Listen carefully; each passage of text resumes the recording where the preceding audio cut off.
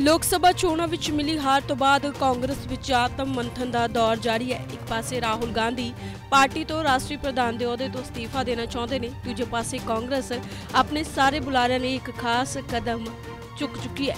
ਕਾਂਗਰਸ ਬੁਲਾਰੇ ਇੱਕ ਮਹੀਨੇ ਤੱਕ ਮੀਡੀਆ ਦੇ ਸਾਹਮਣੇ ਨਹੀਂ ਆਉਣਗੇ ਅਤੇ ਨਾ ਹੀ ਟੈਲੀਵਿਜ਼ਨ ਤੇ ਹੋਣ ਵਾਲੀ ਕਿਸੇ ਮੀਡੀਆ ਬਹਿਸ ਵਿੱਚ ਹਿੱਸਾ ਲੈਣਗੇ। ਇਹ ਜਾਣਕਾਰੀ ਕਾਂਗਰਸੀ ਆਗੂ ਰਣਦੀਪ ਸਿੰਘ ਸੁਰਜੇਵਾਲਾ ਨੇ ਇੱਕ ਟਵੀਟ ਰਾਹੀਂ ਦਿੱਤੀ ਹੈ। ਉਹਨਾਂ ਲਿਖਿਆ ਹੈ ਕਿ ਕਾਂਗਰਸ ਪਾਰਟੀ ਨੇ ਫੈਸਲਾ ਲਿਆ ਹੈ। ਪਾਰਟੀ ਆਪਣੇ ਕਿਸੇ ਵੀ ਬੁਲਾਰੇ ਨੂੰ ਇੱਕ ਮਹੀਨੇ ਲਈ ਮੀਡੀਆ ਸਾਹਮਣੇ ਹੋਣ ਵਾਲੀ ਬਹਿਸ 'ਚ ਨਹੀਂ ਭੇਜਣਗੇ।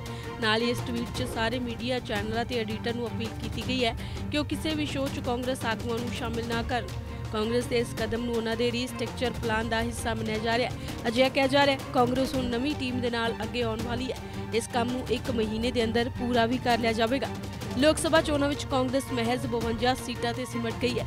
ਪਾਰਟੀ ਦੇ ਖਰਾਬ ਪ੍ਰਦਰਸ਼ਨ ਤੋਂ ਖਫਾ ਰਾਹੁਲ ਗਾਂਧੀ ਨੇ ਅਸਤੀਫੇ ਦੀ ਪੇਸ਼ਕਸ਼ ਵੀ ਕੀਤੀ ਸੀ, ਪਰ ਪਾਰਟੀ ਨੇ ਨਹੀਂ ਮੰਨਿਆ। ਪਰ ਇਸ ਦੇ ਬਾਵਜੂਦ ਰਾਹੁਲ ਗਾਂਧੀ ਲਗਾਤਾਰ ਅਸਤੀਫੇ ਤੇ ਅੜੇ ਹੋਏ ਨੇ। Bureau report Daily Post, Punjabi.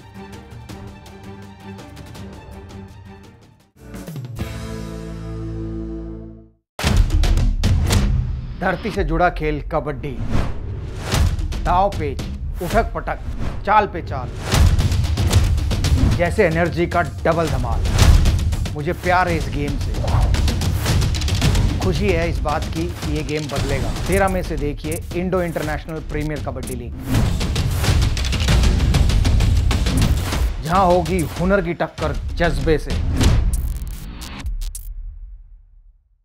Canada student visa ਤੇ ਜਾਣ ਵਾਲਿਆਂ ਲਈ ਹੁਣ ਖਾਸ ਖੁਸ਼ਖਬਰੀ। GIC ਦੀ ਫੀਸ ਨਹੀਂ ਵੱਧ ਰਹੀ। ਇਫੈਕਟਿਵ 1 ਅਪ੍ਰੈਲ ਤੋਂ GIC ਦੀ ਫੀਸ 10200 ਹੀ ਰਹੇਗੀ। ਸੋ ਜੇ ਤੁਸੀਂ ਸਪਟੈਂਬਰ ਜਾਂ ਜਨਵਰੀ ਸੈਸ਼ਨ ਲਈ ਕੈਨੇਡਾ ਸਟੂਡੈਂਟ ਵੀਜ਼ੇ ਤੇ ਜਾਣਾ ਚਾਹੁੰਦੇ ਹੋ, ਤੇ ਅੱਜ ਹੀ ਕਾਲ ਕਰੋ 92563 92563